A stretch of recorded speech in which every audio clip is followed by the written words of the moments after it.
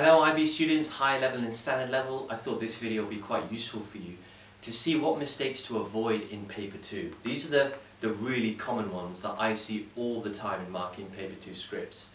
Structure is always the issue. Doesn't matter what paper it is, paper 1 or paper 2.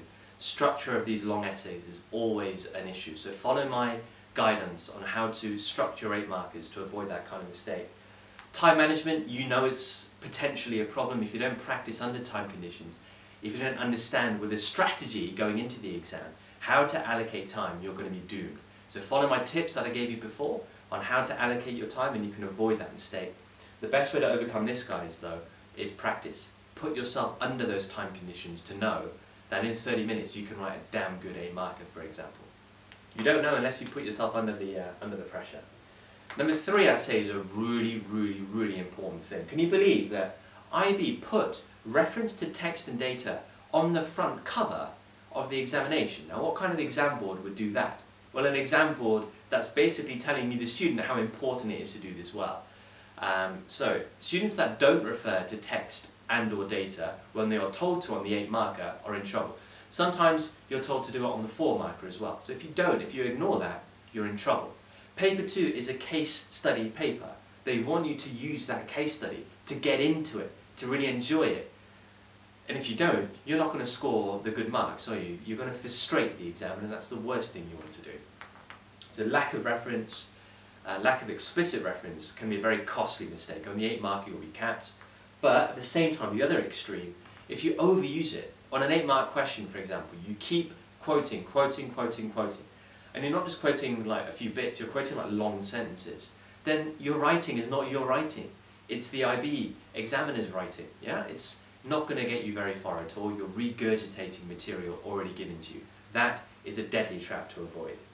You want to make sure that your diagrams on these four mark questions, but also on the, the eight markers, especially the fours, are drawn accurately, that they are labelled proper, properly, and they are relevant to whatever the question is asking.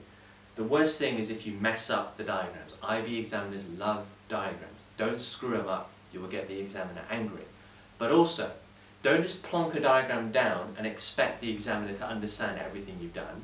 Remember, assume the examiner is a non-economist. Therefore, you must analyse your diagram, talk about your diagram, refer to it, explain why you shifted curves, explain why the price has gone up or down, or real GDP has increased or decreased. Explain everything on the diagram. That then will score you maximum marks. It's a common mistake. People just assume. They know that diagrams are important, but they assume that, you know, after two years of studying economics, that, yeah, surely this is obvious, and then they take liberties and shortcuts. The worst thing you can do, be careful. Limited evaluation and judgment. This is what separates the good from the best. The students that get sevens are able to evaluate and make judgments well. I've got two very important videos on how to make evaluations and judgments strong in economics essays. Watch those videos, make sure you're not the student that struggles with these two very important concepts. And just generally a lack of depth in writing.